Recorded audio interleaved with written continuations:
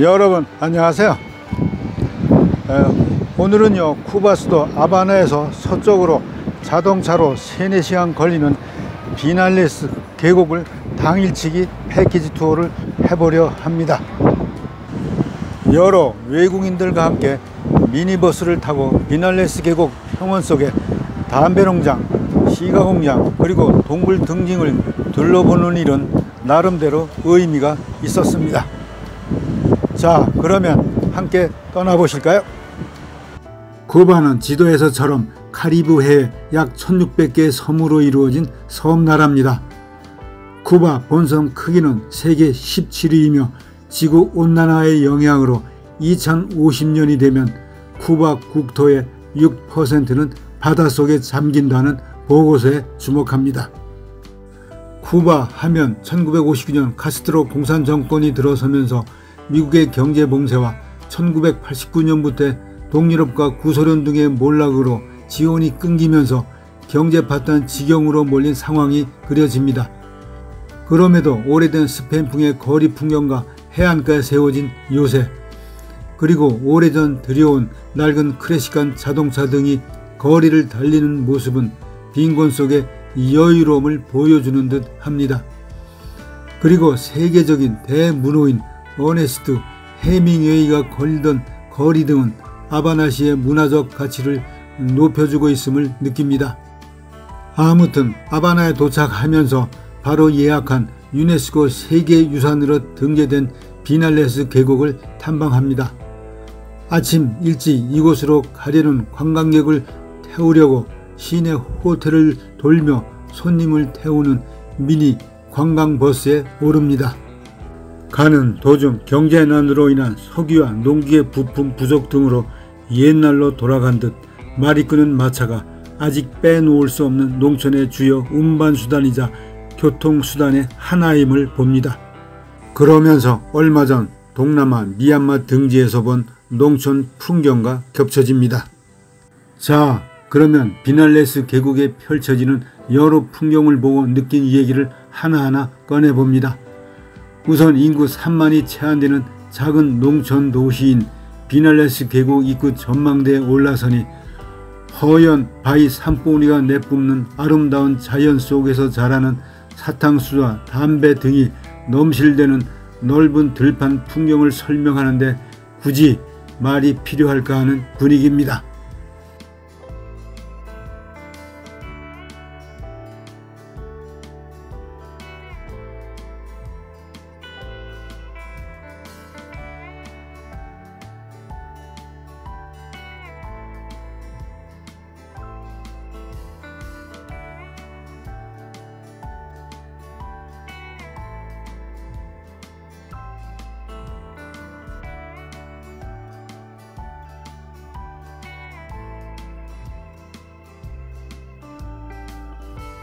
그리고 이런 농촌 풍경을 그린 그림을 보노라면 마치 자연에 인간의 영혼을 불어넣어 자연과 인간이 호흡을 맞추는 듯한 묘한 느낌과 화가의 자연에 대한 의식을 들여다보는 듯한 생각이 동시에 듭니다.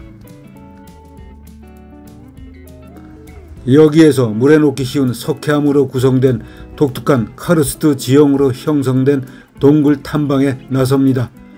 가이드는 동굴 안을 흐르는 지하강을 따라 작은 보트를 타고 형형 색색 빚어놓은 듯한 기이한 동굴로 안내합니다.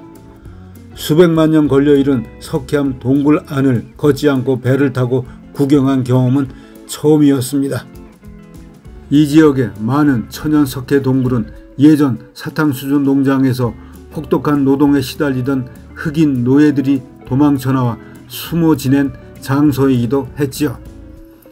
동굴 밖으로 나오니 어렵게 도망쳐 나온 노예들이 살던 거주지 모습을 재현해 놓아 당시 그들의 삶이 얼마나 힘겨웠는지 생생하게 보여줍니다. 점심때나 돼서야 컨트리 음악을 들으며 같이 온 사람들과 얼굴을 마주보며 대화를 나눕니다. 대부분 미국인들이고 캐나다, 호주, 브라질, 프랑스에 온 사람들 한두 명이 섞여 있었지요. 그들은 한국에서 온 나를 보며 자신이 들고 있는 삼성 핸드폰을 보며 친근감을 나타냅니다. 식당 주변에는 기념품 가게들이 늘어선 가운데 이 나라 국가원신 피델 카스트로보다 훨씬 많은 베레모의 시가를 입에 문 제 게바라의 얼굴이 그려진 크고 작은 기념품이 있음을 봅니다. 이는 다른 사회주의 국가의 독재자들과는 달리 자신에 대한 우상화나 신격화를 금지하라고 유언을 남길 정도인 카스트로의 성격과 무관해 보이지 않음을 느낍니다. 이어 두 자매라고도 부르는 선사시대를 그린 벽화를 보러 갑니다. 모고테라는 거대한 바위 절벽 위에 길이 180m, 높이 120m나 되는 대형 그림이죠. 처음에는 선사 벽화라고 말을 들었을 때는 몇천 년 전에 선사인들이 직접 그린 벽화로 착각할 뻔 합니다. 그런데 사실 이 벽화는 1960년대 초 이 지역을 찾은 피델 카스트로가 혁명을 기념하기 위해 그린 것으로 화가 곤달레스의 지휘를 받아 인근 농부들을 동원해 5년 만에 완성합니다. 그림 내용을 보면 공룡 시대부터 인간이 지구에 출현하고 지구가 진화하는 과정 등을 상징하는 인간, 공룡, 달팽이, 해양 파충류 등이 그려져 있기에 착각할 만하지요. 이 그림을 보면서 카스트로 수상이 말하고자 했던 것은 무엇일까? 아마도 혁명의 진화 과정을 말하는 것이 아니었을까? 아무튼 이 벽화로 인해 더 많은 관광객이 찾는 관광 명소가 될 줄은 짐작하지 못했을 것이라는 생각이 들더라고요. 이어 가이드는 출렁이는 사탕수수밭과 담배밭 등 사이를 지나 시가 담배 공장으로 안내합니다. 사실 쿠바는 남한 면적과는 거의 같으나 인구는 대략 우리나라의 5분의 1 정도인 1100만 명 정도입니다. 그리고 쿠바 위도는 북위 19도에서 23도 사이에 위치하여 열대성 작물이 재배되어 우리와는 다릅니다.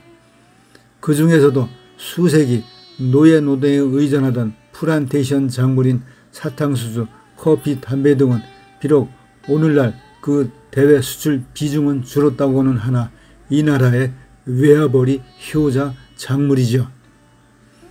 이런 생각을 하면서도 1492년 콜럼버스가 서인도 제도의 섬에 처음 도착하여 처음 만난 담배를 피우는 원주민을 만난 이래 여러 역사적인 우여곡절을 겪으며 담배 경작기는 세계로 빠르게 확산되어 지역 주민들의 소득원이 되었음을 봅니다. 나아가 오늘날은 담배는 하나의 기호품을 넘어 문화 아이콘의 하나라서 그간 다종 다양한 계층의 애호가들의 멋으로 사랑받고 있습니다. 그리고 담배는 전쟁터에서 식량과 무기 못지않게 중요한 역할을 담당합니다. 지금이야 담배를 끊은 지 몇십 년 지났지만 군 생활을 할 때에는 헤비 스모커였었지요. 이는 아마도 당시 힘든 훈련과 규율적인 생활을 잊으려고 했기 때문이 아니었나 생생한 기억을 합니다. 그런데 막상 전투에 임하는 장병 모두는 급박한 죽음의 공포로부터 벗어나고 마음의 안정을 되찾는데 이보다 마땅한 것을 찾기 쉽지 않지요. 지금은 어떤지는 몰라도 담배 공장에 들어가면서 사진은 절대 찍지 말라는 주의를 받습니다. 입구에는 여러 명의 경비원이 지키고 안에는 줄 맞춰 길게 앉은 100여 명의 여성들이 말린 담배잎을 돌돌 굴려가며 말고 있습니다. 얇고 작은 씨가 길고 가느다란 씨가 크고 통통한 씨가 등 다양한 모양은 담배잎 크기와 질에 따라 정해지는 듯 보였습니다. 우리나라 담배 공장에서 대량으로 쏟아지는 골련 생산 방식과는 전혀 다른 모습입니다. 그리고 이러한 과정을 거친 시간은 점화 방법, 흡연 방식, 보관 방법 등이 유별하며 흡연 예의를 중시한다는 얘기를 듣습니다. 특히 시간은 맛과 향을 음미하며 이 향과 잘 어울리는 와인이나 꼬냑을 곁들이면 일품이라는 설명을 덧붙입니다. 우리 일행이 공장 안으로 들어가자 일을 하던 여성들이 힐끔힐끔 쳐다봅니다. 그녀들은 감독자가 등을 보이면 일하던 손을 멈추고 관광객을 향해 동전을 입으로 가져가는 신용을 하며 돈을 주기를 바랍니다. 그러다 감독이 방향을 뒤로 돌려 돌아오면 일하는 척 하지만 이번에는 반대쪽에서 일하는 여인들이 똑같은 모습으로 간절히 하소연하는 듯 손을 입으로 가져가는 손짓을 합니다. 감독은 이를 모르느냐 우리에게 여유 있는 미소를 보이며 작업장 통로를 왔다 갔다 합니다. 일행은 이러한 감독과 눈맞춤을 하면서도 아무 일 없다는 듯 태연하게 견학할 뿐이지요. 그런데 관광객들은 감독이 작업장 통로 사이를 오가는 감시 속에 그녀들의 어려운 삶에 모두 동조하는 듯 했으나 돈을 전달하기 어려운 분위기에 난감한 표정이었습니다. 이러한 모습에 착잡한 마음을 안고 은은한 시가 향기로 가득한 작업장을 나와 다양한 모양의 시가가 진열된 판매장에 들어섭니다. 시가 담배 모양도 다양했지만 가격도 한 개피에 몇십만 원 이상 가는 고가의 시가와 적당한 가격의 시가가 보이는 등 구입 선택의 여지는 넓더라고요. 특히 모든 작업이 섬세한 수작업으로 이루어지는 것을 보면서 많은 시가 매니어들이 그 맛과 향기를 느끼며 즐기기 위해 시가를 찾는 이유를 이해합니다. 그런데 담배를 피지 않는 나로서는 그저 지켜만 보고 있는데 판매장 아가씨의 적극적인 권유에 저렴한 것을 하나 골라 기념으로 사듭니다. 비록 담배는 피우지 않지만 지금까지 오랫동안 보관해온 시가를 꺼내어 폼을 잡아보며 소비자의 손에 들어올 때까지의 긴 과정 속에 특히 담배 재배 농가와 시가 제조 노동자들의 노고를 생각합니다. 그러면서도 담배의 주성분으로 중독성이 강한 니코틴은 우리 몸의 중추와 말초 신경을 흥분시키면 물론 쥐약의 원료로도 사용된다는 말에 움찔거립니다. 특히 세계보건기구와 담배 없는 세상을 위한 재단에서는 세계 흡연자 수는 약 10억 명에 이르며 이 중 약 720만 명이 매년 흡연 관련 질병으로 사망한다는 경고를 기억하며 시가 담배 공장 문을 나섭니다. 이렇게 당일치기 패키지 여행을 마치고 비날레스 시내를 벗어나 아바나로 향합니다. 며칠간 머물던 아바나의 민박집 할머니는 돌아다니는데 힘들었을 거라며 내놓은 시원한 음료수와 과일은 피곤을 잊게 합니다. 그리고 그녀는 방 두 개를 운영하면서 버는 돈의 80% 이상을 세금으로 내야 한다며 생활이 쉽지 않다는 사정을 토로합니다. 아무튼 쿠바에 머문 시간은 짧았지만 쿠바를 포함하는 카리브의 다양한 문화와 역사 그리고 산업 등 그간 일어났던 사건 등을 조금이나마 접하고 이해하는 좋은 기회였죠. 그런데 최근 쿠바를 다녀온 여행자들의 얘기나 여러 자료들을 보건대 정치 지도자는 바뀌었으나 사정은 아직 거의 그대로라는 사실이죠. 이는 이미 많은 나라들이 체제 전환을 통해 국민들의 삶의 수준이 높아진 것과는 비교되는 일입니다.